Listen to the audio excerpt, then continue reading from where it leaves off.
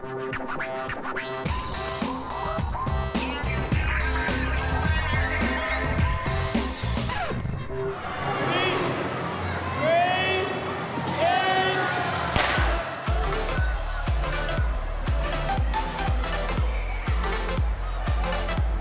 zijn hier eh, op eh, het ijsportcentrum Eindhoven. Wij organiseren elk jaar, eh, dit jaar voor de 47ste keer, een basisschool schaatsfestijn voor alle basisschoolkinderen van Eindhoven en omgeving. Dat doen ongeveer 1300 kinderen aan mee. Veel kinderen staan voor het eerst op het ijs. En het gaat er eigenlijk om dat ze gewoon eens een keer op de ijsbaan komen. Dat ze, dat ze gevoelen hoe het geleden is op eh, twee ijzertjes op het ijs. En eh, ze worden er enthousiast en heel blij van.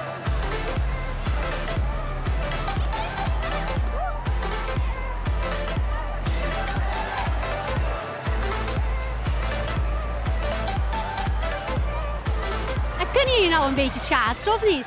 Ja, een beetje wel. Ja, je moet wel een beetje voorzichtig eh, zijn. Nog niet gevallen? Eh, nee, bijna, bijna. Is het voor jou de eerste keer op het ijs? Zeker niet. Vaker mee gedaan. Het is mijn vierde keer, maar ik kan het nog steeds niet.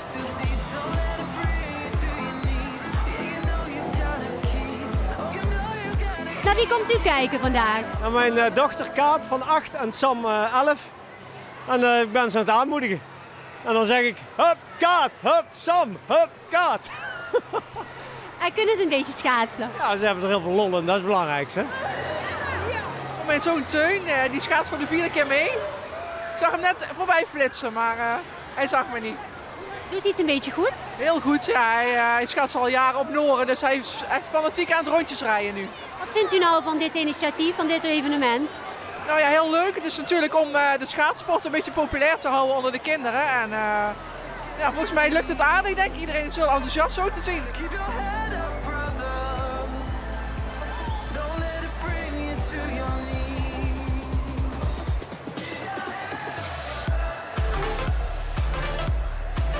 Voor jullie is het niet de eerste keer, of wel? Nee, we schaatsen al vier jaar. Ja, en ik al zes jaar. Waarom vinden jullie dat nou zo leuk? Ja, gewoon, ja. Ja, ik was op proefles geweest doen en toen, ja, vond ik het steeds leuker. Het is een jaarlijks eh, terugkerend feestje. De kinderen kijken er heel erg naar uit. Maar wij zouden het ook heel fijn vinden om eh, een aantal kinderen waarvan je gewoon ziet dat ze het leuk vinden, dat wij ze wat beter eh, kunnen gaan leren schaatsen. Dus u bent eigenlijk ook een beetje op zoek naar talent vanavond. Ja, inderdaad.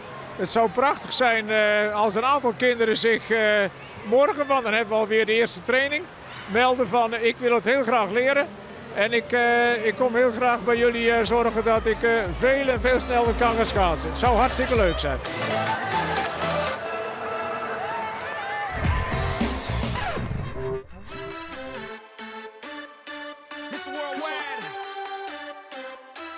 Christina Aguilera.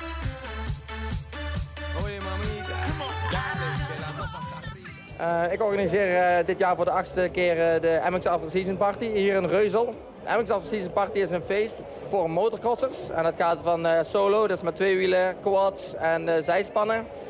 De jongens rijden een heel seizoen. En op het moment dat het seizoen is afgelopen zijn de kampioenen bekend. En die zetten wij hier extra in het zonnetje. Voor de eer voor hun werk de behaalde titel nogmaals te onderstrepen. En daar een goed feest aan vasthangen. We hebben een aantal eh, items, dat zijn natuurlijk de huldigingen. Maar we dit jaar ook de Living for the Free Tent eh, Challenge. Waarin dat eh, coureurs onderling uitmaken wie het snelste drie frikandel speciaal naar binnen kan werken. Dus dat zijn een beetje beladen items waar dat publiek echt in meegaat. En daarnaast weer iedereen ja, op zichzelf gezellig dansen, feesten.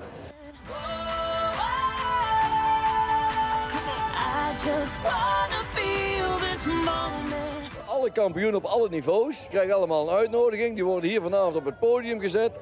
Dan worden ze naar voren geroepen. Dan wordt er een bokaal overhandigd. En dan, eh, da- dan eh, een fles champagne krijgen ze. En, en natuurlijk de roem en de eer. Ja, dit mag je gewoon niet missen. Als je een motocrossliefhebber bent, hier moet je één keer geweest zijn. Ja, ik kom zelf eigenlijk uit Vlissingen. En eh, ja, ik ben hier eh, om te feesten en omdat ik de eerste geworden ben in de Motocross of Nations voor dames. Eh, Hier komen iedereen van de cross. Als ik hier een rondje loop, dan ken ik eh 9,9 van de 10 mensen eigenlijk. Dus dat is gewoon super gezellig en hartstikke leuk.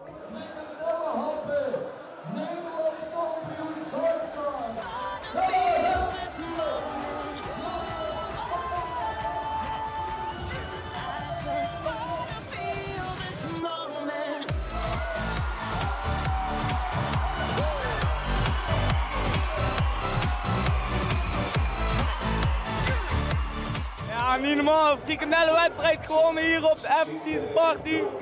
Helemaal blij, helemaal blij. Ik ging hier zitten vandaag en eh, helemaal niet voor getraind. Ja, het ging gewoon super.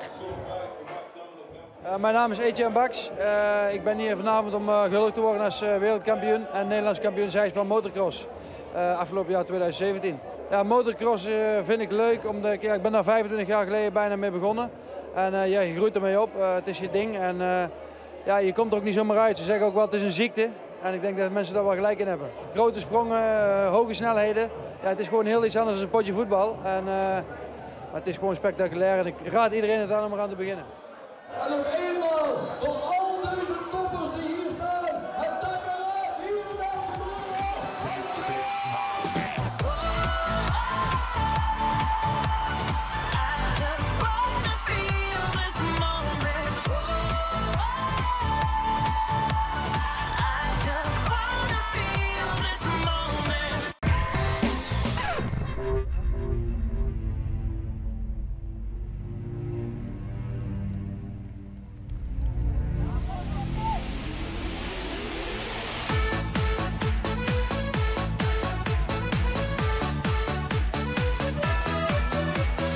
We zijn op Bedaf in Uden en uh, we hebben een langlaufwedstrijd, de Bedaf Loppet.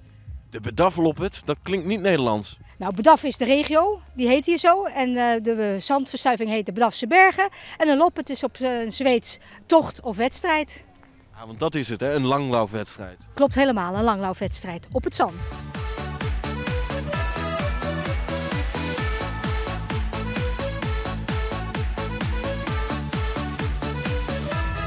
U bent er klaar voor? Ik ben er klaar mee. ja, ik ben er klaar voor, ja, ja, ja. Goed warm ge gesprongen? Ja hoor, ja hoor, ja hoor. En uh, gaan we meedoen voor de winst of? Nou, dat denk ik niet, maar uh, ik ben uh, bijna 71, dus de winst zal er niet meer in zitten, denk ik. Staat je wat te wachten en zo ja, dan weet je... Ben je er klaar voor? soort van, we gaan het zien. Vier rondes, dus dat wordt zwaar. het is wel pittig, hè? Ja, het is zeker weten pittig. De eerste ronde wordt kijken hoe het gaat en dan derde tweede, derde gaan we zien, vierde is afzien. Maar uh, ho hoezo is dat dan leuk? Het is leuk als je over de finishstreep komt en tijdens, um, ja, het is zwaar, maar op het moment dat je over de finish komt voel je je zo voldaan. Dat is gewoon zo lekker en de sfeer hier is gewoon geweldig, dus uh, dat maakt het allemaal leuk. Ja, Magiel, de kop is eraf. Oké. Okay. en overheen.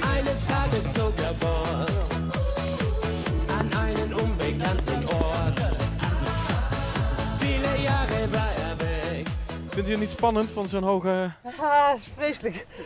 Oh, hier en omlaag? Nee, dat valt mee. Als het goed gaat. Dat gaat wel goed.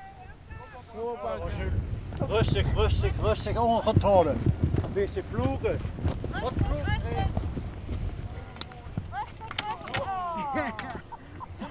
uh, ik, ik ben gewoon aan het controleren of iedereen zijn rondes wel maakt.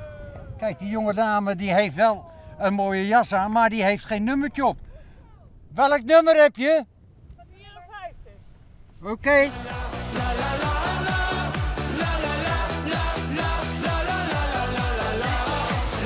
Gelijktijdig over de streep.